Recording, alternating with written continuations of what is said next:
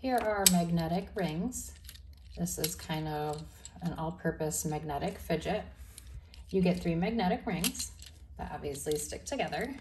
You can spin them around.